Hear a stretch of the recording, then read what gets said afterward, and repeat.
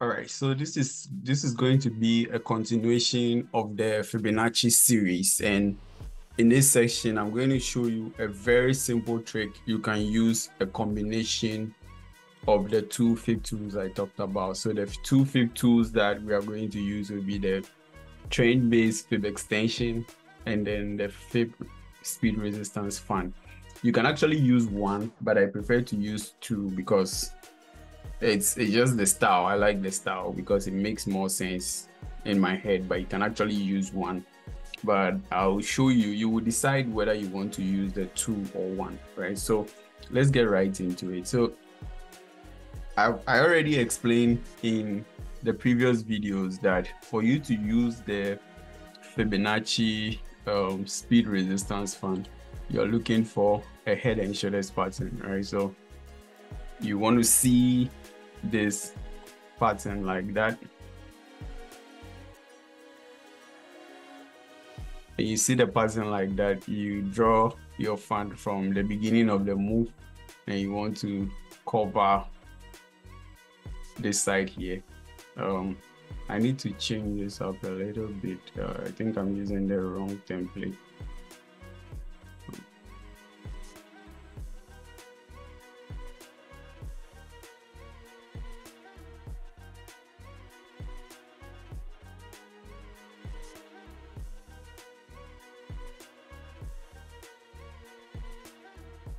So you are using this, you go from here, and this is your decision line. And when price breaks this level here, like there are different decision lines I use based on the video I explained, but this is the decision line, and you take yourself from here to here, right? So I've already explained this. In today's video, I'm going to show you how you can use the speed resistance fan and then the trend based fib extension together. So you can use it on a head and shoulders pattern, like I explained, and you can also use it on a double top, but this kind of double top is unique. You are looking for a double top where the next high is lower in this case. So you're looking for a lower high. And if the market is in a downtrend, you're looking for this type of double top where you have a higher low, right? So what you are basically looking for is to now draw your fan from here. So where the move is starting from. So let's say this move started from here. What you're looking for is to draw your fan from here to here. And this is your TP at this point here, right? But this case, what you're going to do is you use the fib expansion. So you go from A, B, C, and your TP, you take an LETP here in this case. I hope, I think this would make more sense when I start showing it on the chart. So you go from, so let's say the trend is starting somewhere here. Your entry is at the breakouts and your TP would be so with the fib expansion, you're going for A, B, and C. So that is your TP right there. So that gives you an exact point to be looking for TP instead of like, this would be a good guide for you, but this gives you an exact level to be looking at TP, right? So I'm going to switch up the templates to a different template, which is more simplified. Why is this hiding.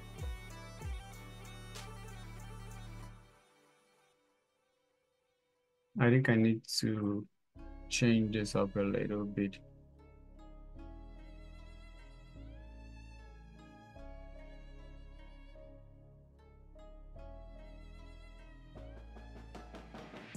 So in this case, what I'm going to look is uh, 0 0.114. That would be my entry zone and I'm going to take everything off. Right so let's get into it. So currently I have US 30 on the chart. And what I'm looking for is this is the pattern I'm looking for. I want price to give me a low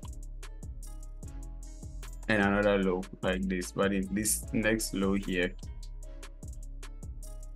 would be higher so what i would do in this case is to draw my fan from here going from here and my focus is here the lowest point of this level here so this is my entry after the breakout you you might or might not wait for a retest so you get in at this point here so where is my TP going to be? So my TP is going to be with a fib expansion. So I've already explained the fib expansion if you've not uh, a fib extension, trend base, uh, this is the right trend base fib extension. Sorry about that.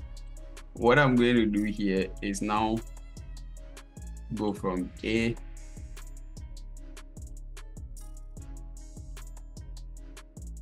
A to B to C and my TP1 is uh, a 1.0 129. You can also take TP1 at 127. Today I'm showing my levels. Today is my birthday, so I would show so many things. Like I said, after this, I'm about to just record a video where I'll show you all the the various concepts that I trade. Right. So if you watch this video and it's not today and it's another day, go look for that video because there will be more concepts in there right so what i look for is now use my expansion i go from a to b to c and that's tp1 so here what i'm going to do is after the breakout here you take your trade stop loss is below here. Trade here. Stop loss is below here and you go for TP here. So you can go for TP here or just go for one is to three risk reward ratio, right?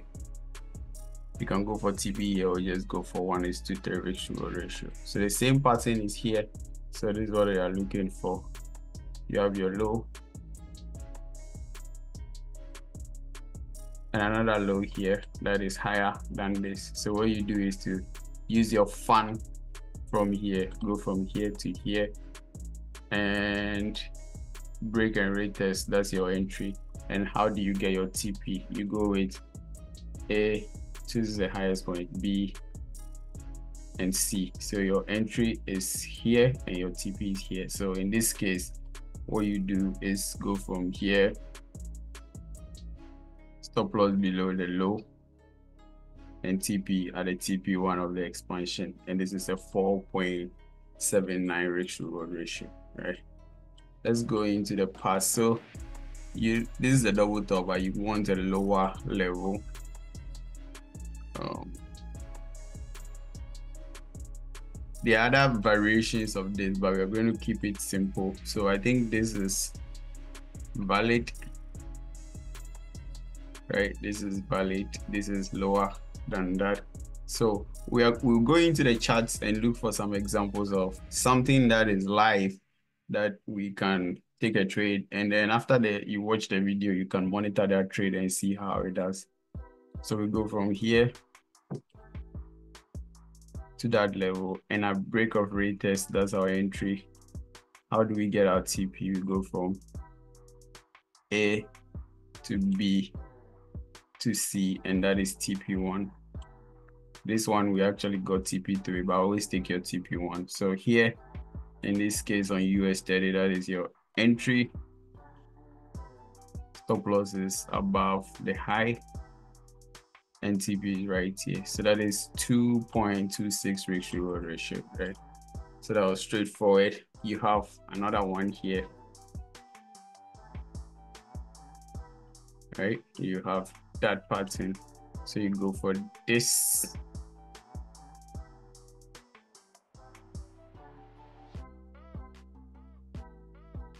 Right, so this one is hmm.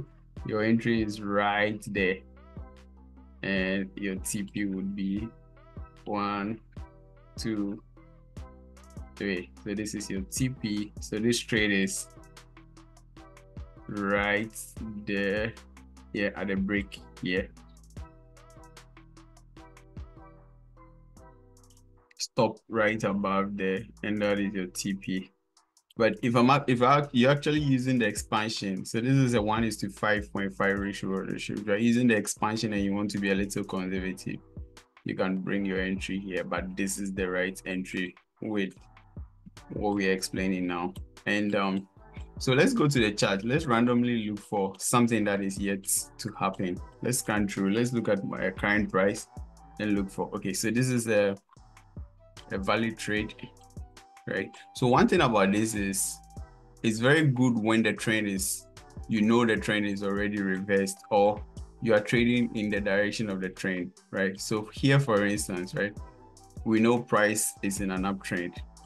So we know we are not going to catch any form of retracement. So if price is in an uptrend, buying here makes a lot of sense because we already have an uptrend established and then we have this. So in this case, what we do is we go from here to here and that's our entry and our TP would be with a, uh, extension one, two, and 3. So entry is right there and TP is here. So if you're confused, go watch the two videos on the, the speed resistance fan. You don't even, yes, you need to watch them, especially with the levels. But this is 1.2, 1.129, right? So you can watch the video and get more insight. So this is actually a valid trade. Um, it's a valid trade, but the the one thing that is uh, tricky with this is that because we are in an uptrend, like this is still you are currently still trading against the trend, so this is risky. You had something similar here, where price hits the TP. So if you you would have gone for this, um, where would the trade start from? So if if you had gone for this, looking at this level here, this is your your high and this is your lower high you're going for here to that level here so that is your entry and your TP is one two three so price hits the TP and reversed but it's still a very risky trade even though you will still be getting a good risk reward ratio here so here if your entry is at a break so that's somewhere here and your stop is above here and your TP is here, that's one is to two risk reward ratio, right? It's not really great. So you want to mostly you want to avoid this kind of pushes like this, but this is still valid. If you still want to go for this, that's okay. You have your high, you have your lower high. What you do here on US uh, the S&P 500 right now is to do this. We have the break, so you're good to sell S&P 500 now. But the trade might be a little tricky just because we are trading against the trend, right? But all things being equal, you have A, B, and C, and that is TP. So you see, it's actually a very small trade. Like in terms of RR, this will still give you a one is to two ratio ratio, right?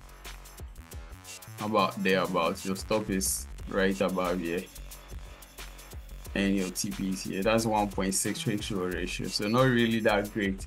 And mostly this happens when you're trading against the trend like that. So let's go on. Let's look for more examples. All right. So I think this is a very good one. Why is this a good one? Because we're in an uptrend where the market is in an uptrend and it has given us a nice double bottom here where we have a, a, a higher low right? So what we do is go from a sorry we draw our speed resistance from from here to here and that's a perfect break and retest so this is actually looking good i'm going to i'm going to buy this right now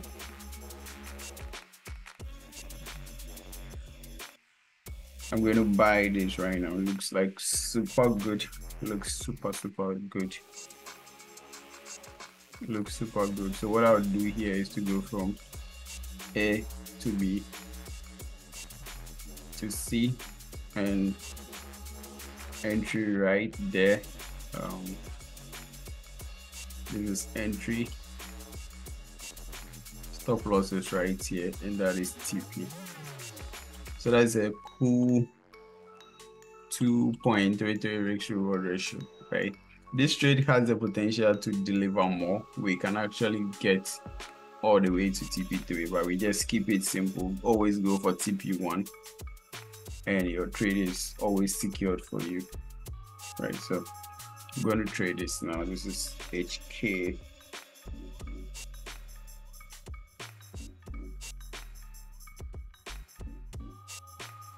In this system, this is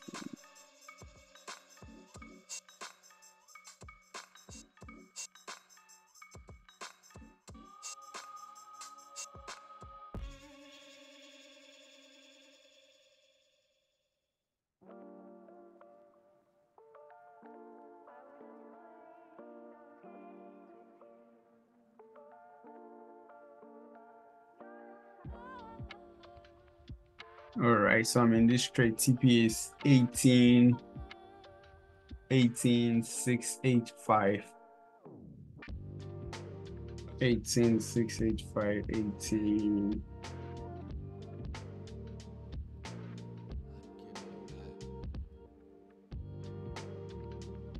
Eighteen thousand six hundred and eighty-five.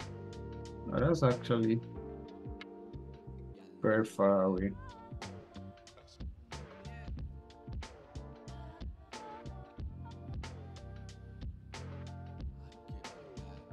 Wow, is that really that far away? Yeah.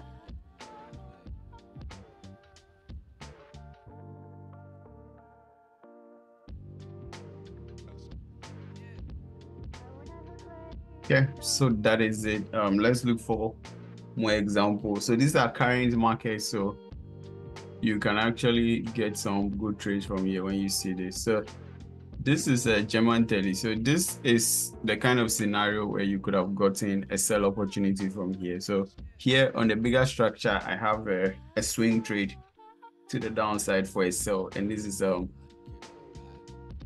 a retest of an entry here.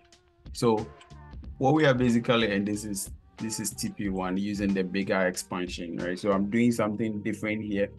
But what we are looking at this, what we are looking at here is just to, I don't want to delete everything I have here, but you can see the double top here. So what you do here is to go from there to there, and that's your breakout. So that's your entry and that's your stop loss, and you're going for TP1 with the expansion. So one, two, and three. So TP1 was right there entries here. So this is about one is to two risk to reward ratio. And you can do this on a bigger scale. So here, what we are doing now, we're on a two hour time frame. You can do this on a daily time frame, establish a bias. And then based on this, you can now know where the market is going long term and you can use it to plan your trade. So let's look at in a scenario where you can find an opportunity like this and then trade in that direction for a long time. So you're using this as a way to establish your trading bias, right? So let's look for a scenario like this. I think let's let's go on. Let's look for something that with the current price so that we can actually it's something that we can actually use to establish current buyer. So this is a very good one on um, GBP NZD on the daily time frame. GBP NZD on the daily time frame. But this already uh, this this one did not hit the take profit. Let let's go on. So this is GBP CHF so this is actually really good this is really good. So let's go on and analyze this. Let's go on and analyze this. So what we are looking here is we are looking for a higher low, a, a higher low, yes. Right, so this is what we have here. This is our low and that is our low. There's so many other things going on here. If you look at this, there's a head and shoulders pattern where you could use the way we draw the normal fan from here to here. But it's also a higher low. You know the the actual way of using the the fan is to look for a head and shoulders pattern or a higher low right? But this we are focusing on the higher low. And this is the break. So here, this is your entry, but because this is on the daily time frame, after the close of this, you're looking to get in around here. And with expansion, this is going to be your TP. So one, two, and three at this point here. And that's your TP. So you are getting in here, right around here. And this is on the daily time frame. So you can now use this to establish bias and you can treat it anyhow you want it or just hold this for, for a long time. And this is one is to five risk reward ratio. In terms of pips, that's 400 pips.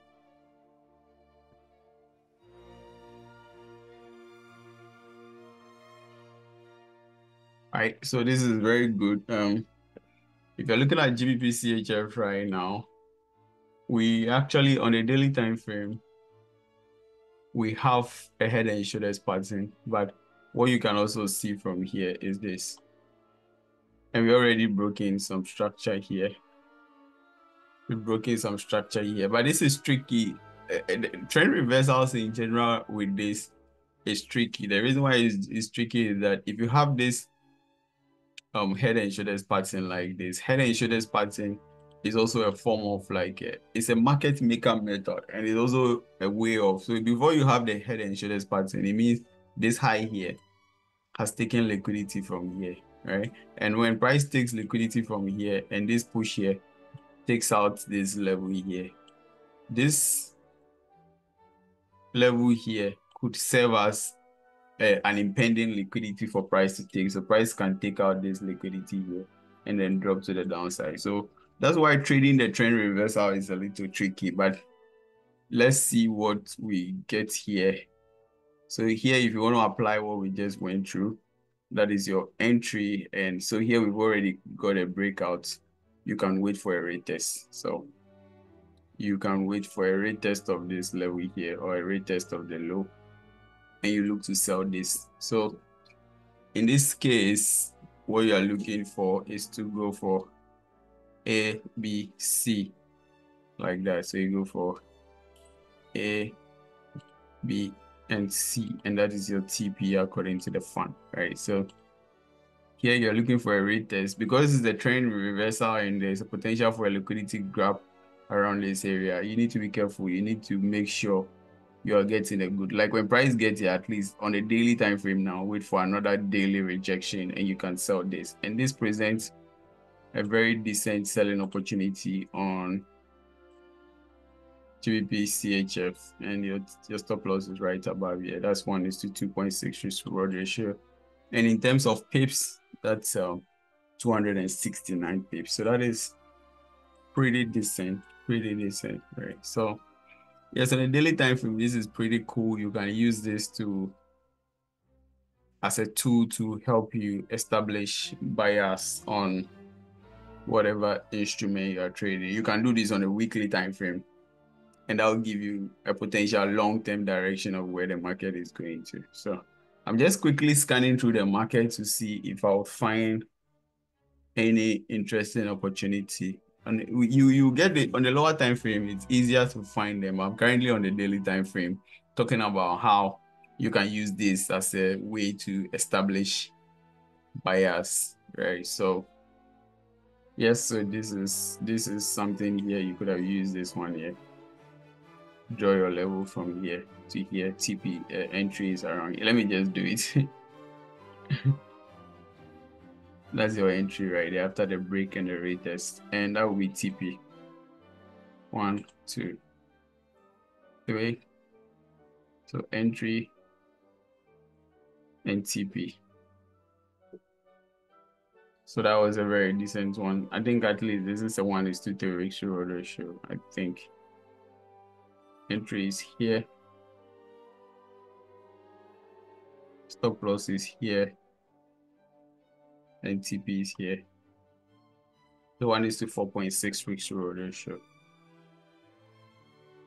All right. So USD CAD. USD CAD is um if you're using this, even though I'm bullish on USD CAD long term, if you're looking at this here, this looks like we have a potential for a long-term switch to the downside. So if you draw this today, that's a break here. So that was your entry. And TP1 will be A, B, and C. So that's entry, and this is TP1. So long-term USD CAD has the potential to drop to this direction. And that's something you can keep an eye on for a long-term push on USD CAD. But again, this is a trend reversal, so that is tricky. That is tricky. But technically, this is a ranging market, so not really that bad.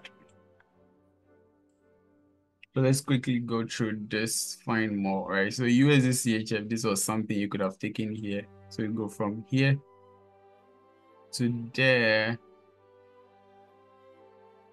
and that is your break. So sometimes this is tricky. If you get a big candle like this, but we had some pullback here. So in this case, your entry is going to be that pullback.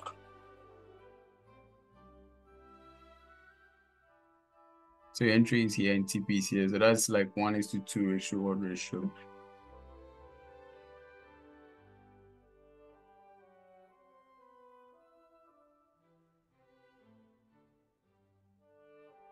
All right, I hope this concept makes sense and uh, back test it. And um, if you have any question, come back and comment under the video and or tag me on Twitter and ask your question. Um, yeah, so I hope you enjoyed this. See you in the next video. So just before we go, um, UK oil looks interesting. Like you have this, you can use it on a bigger scale like this too. You can draw your level from here. So that is your entry. So you're getting in around here at the pullback. And how do you take your profit? You go from A. No, you use the extension one, two. Like I say, you can actually use one of these tools. You don't have to use all the two. But yeah, according to this long term UK 100 has the potential to hit $98. So if you got in, this this was the ideal entry after the pullback here. Stop loss is below the low, and that is TP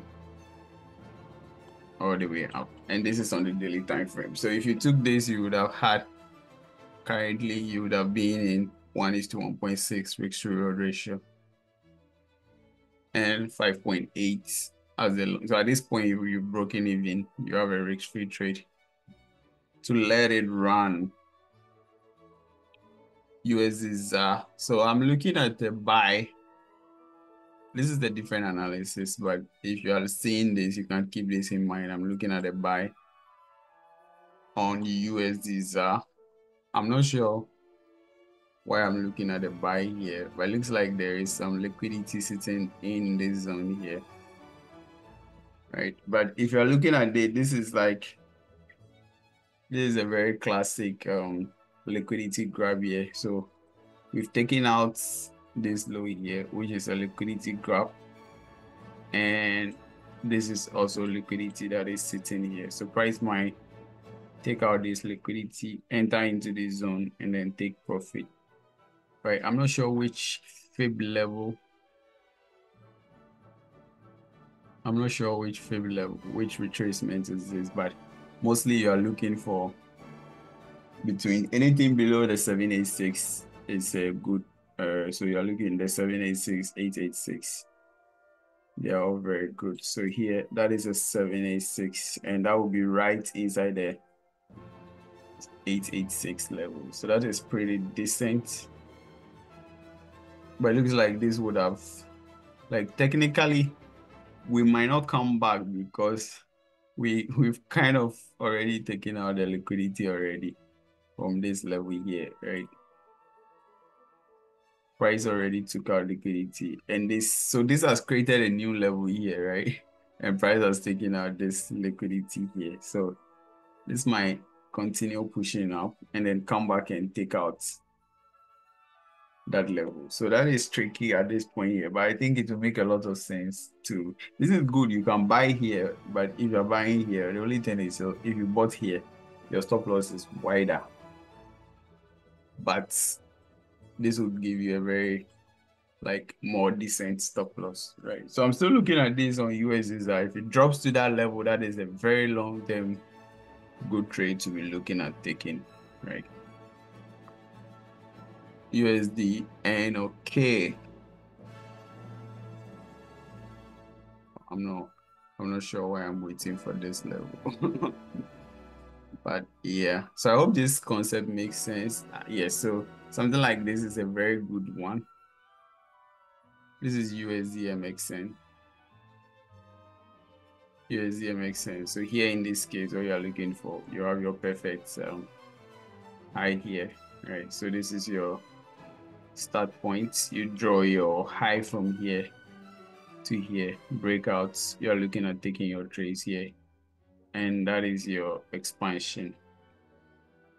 One, two, three. The expansion is good because it helps you to do a very good um, analysis based on how the market structure is presenting itself. And it also gives you the potential to base your TP on how the market is looking.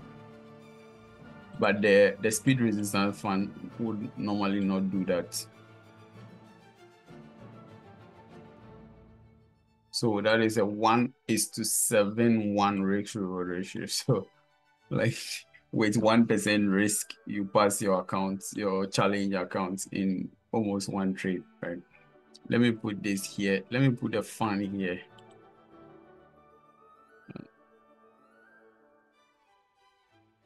So this is TP1. If I'm using the fib fan,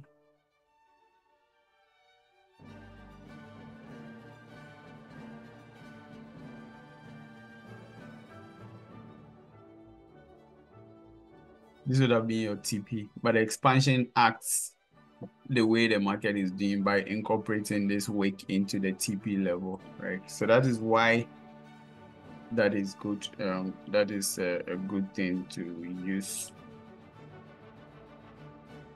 I don't know why I didn't save this template. Oh. oh, it is saved. Hold on. Okay, I had a template saved. I thought I didn't save it. All right, so, yep, that is it. Um, let me know what you think about this video and um, another example here. So this is all over the place. I mean, so much opportunity available. So this is your lower high.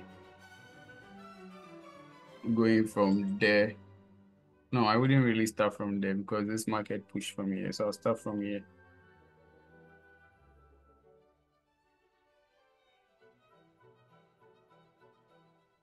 So that's your break, that's your entry. And your TP is one, two, and three. So your TP is right there. And this is a, a decent risk reward ratio. If you are getting in here, that's a very decent risk reward ratio, if you ask me.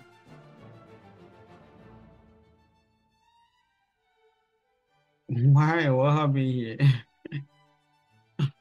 Why did this thing?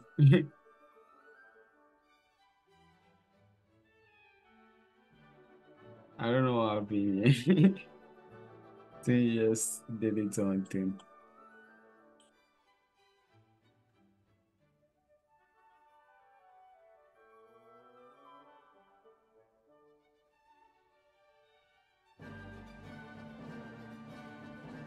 Yep, one is to 2.7. That's not bad. So that is it. Um, I keep on, I keep on doing more examples, but I think finally I'm going to end this video here and then see you in the next video.